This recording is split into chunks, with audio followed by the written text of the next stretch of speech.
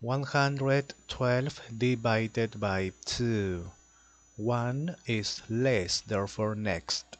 11 is not less, therefore with 11.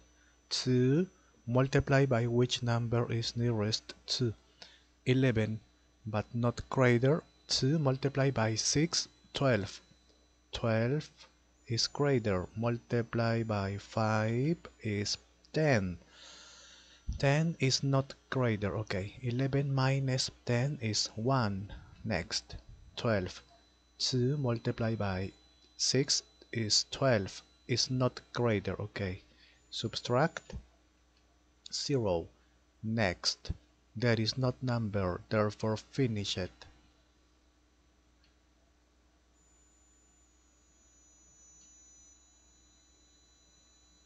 Okay